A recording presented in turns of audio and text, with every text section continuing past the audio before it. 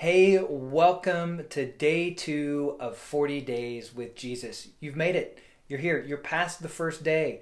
That means you're not a quitter. And I like that about you.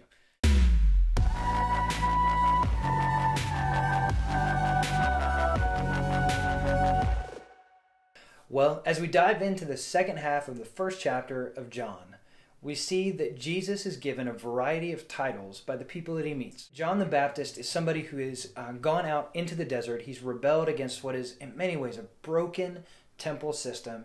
And uh, man, there were tons of places where you could get baptized right outside the temple in Jerusalem. But John is making a very clear statement that that whole system is broken and he has gone away out into the desert and set himself apart. And he is calling people to turn away from their old lifestyle and turn to a new lifestyle of following God.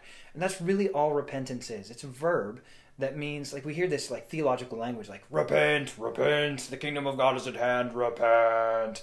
And really all it is is going from this way doesn't lead to God to this way leads to God, and I'm going to go the direction that God would have me to go. John is calling people out into the desert to change their direction. And in the midst of that preaching, he encounters Jesus. He makes this, this connection with Jesus as the Lamb of God and the Son of God. And then some of his disciples do the unthinkable, and when Jesus goes by, they start following Jesus rather than John. And that is a pretty powerful statement. In a series of quick stories, we end up getting seven different titles of Jesus that all will be significant later in the gospel. So see if you, as you read through today, if you can identify seven titles of Jesus that are used in the second half of the first chapter of John.